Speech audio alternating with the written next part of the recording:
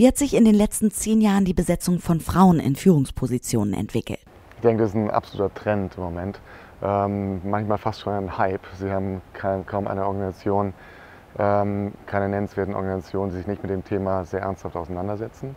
Ähm, börsennotierte Unternehmen müssen das teilweise schon oder haben zumindest den Eindruck, dass sie es müssen. Und äh, es wird ja permanent auch publiziert darüber, es wird viel getan. Und man hat schon den Eindruck, dass auch ein ernsthaftes Interesse daran besteht und es auch durchaus sinnhafte Ansätze gibt. Ähm, man muss immer aufpassen, dass das Pendel nicht von einem Extrem ins andere schwingt. Aber ich habe den Eindruck, dass wir da auf einem sehr guten Weg sind, der auch tatsächlich was verändern kann in äh, Unternehmenssituationen und Unternehmenskulturen. Welche Stärken und Schwächen sehen Sie im Vergleich von Männern und Frauen auf Managerebene? Es ist wahnsinnig schwierig zu beantworten. Man muss find, aus meiner Sicht sehr aufpassen, dass man nicht in so klassische Stereotype verfällt. Ähm, dennoch denke ich, dass äh, Frauen große Stärken haben ähm, auf der, einfach auf der emotionalen Intelligenzseite, so diese EQ-Seite, die immer wieder beschworen wird und die sicherlich äh, in äh, der Realität in der Vergangenheit äh, bei der Entscheidung äh, für Führungskräfte immer eher zu kurz gekommen ist. Da wird, ist lange und immer wieder darüber geredet worden, aber die Frage ist, wie ernsthaft äh, wurde das, das Thema auch wirklich fokussiert, wenn Entscheidungen getroffen worden sind. Da äh, können Frauen meines Erachtens einen ganz anderen und deutlich besseren Beitrag leisten, als so im Schnitt gesprochen als äh, Männer.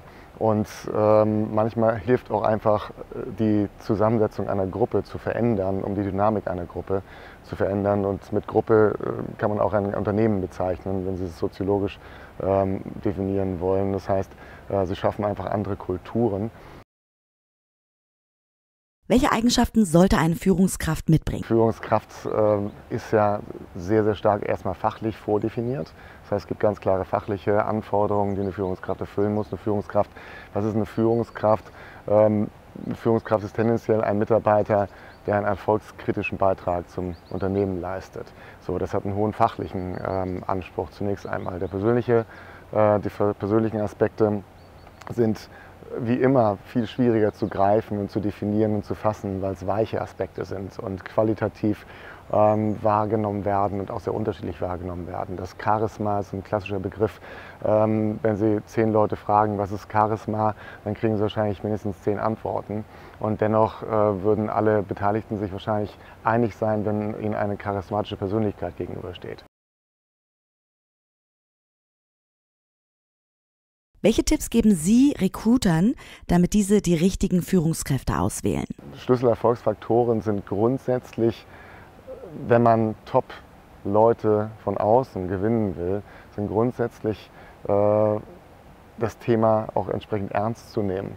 Und zwar von der Top-Management-Seite entsprechend ernst zu nehmen. Es wird immer noch sehr oft ausgelagert äh, in die Personalabteilung. Äh, da ist vieles auch gut aufgehoben, nur es muss das Top-Management involviert sein, wenn es um unternehmenskritische Erfolgsfaktoren geht. Und Top-Führungskräfte sind unternehmenskritische Erfolgsfaktoren.